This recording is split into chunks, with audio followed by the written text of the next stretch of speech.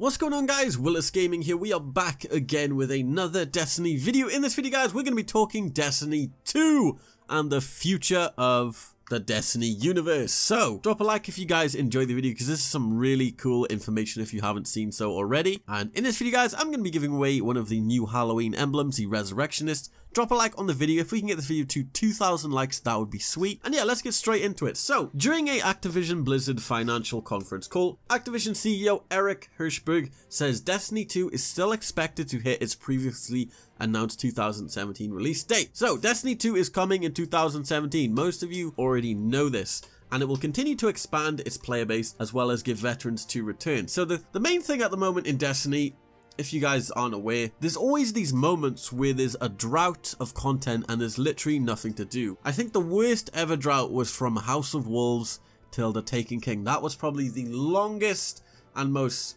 annoying wait for new content I've probably ever seen in any video game and especially being a YouTuber as well it's kind of annoying because there's literally no content to do and this is going to change with Destiny 2 which is why I like it. So so, Hirshberg said Activision expects Destiny 2 to bring in millions of new fans towards the franchise.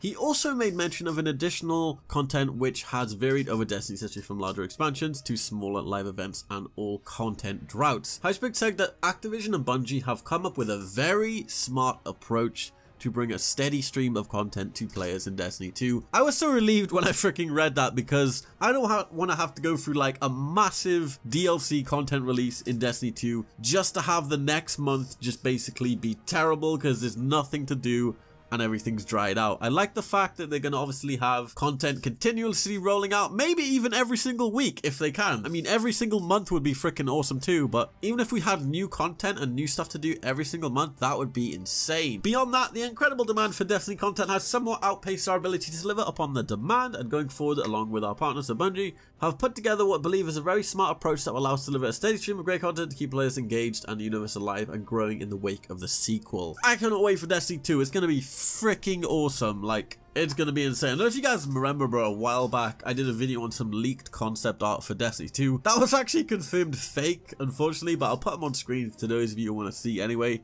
But that got me hyped, knowing that Destiny 2 is obviously being talked about with Activision and Bungie. It's going to be awesome. Also, I just want to thank you guys as well for all the support on my videos. Like, I've never actually, like, properly sat down and thanked you apart from my obviously 300k video. But thank you guys to everybody who keeps coming back every single day. It does mean the world to me and you guys are freaking awesome. And without you I wouldn't be able to do what I do. And with that being said guys I will leave all the news articles in the video description. I hope you guys are hyped for Destiny 2 because I cannot wait.